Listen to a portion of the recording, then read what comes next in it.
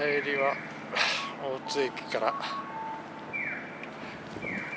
っすぐ北上して琵琶湖湖畔を見ながらやりたいと思います。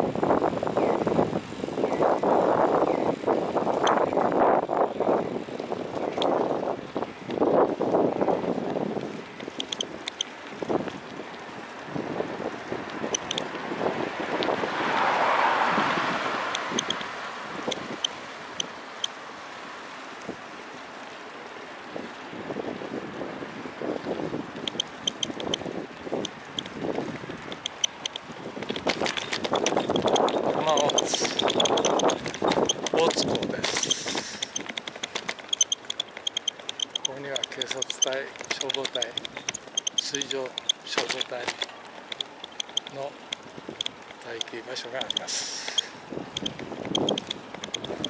で左側に左側に見えますのが琵琶湖ホテルですね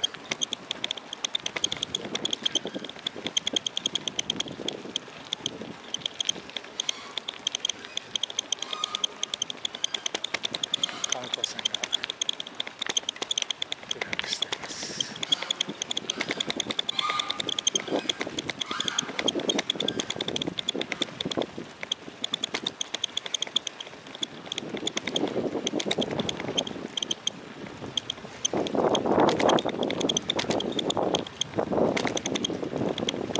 右前見て皆さんコ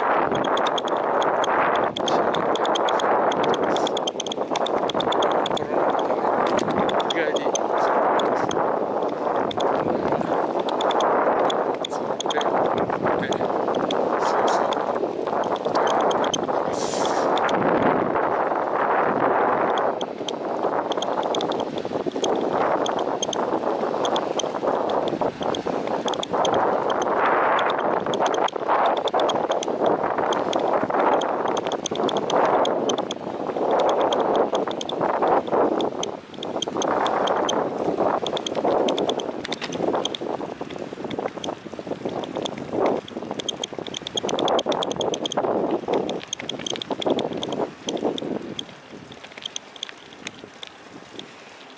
その隣にはビアンカ観光船です。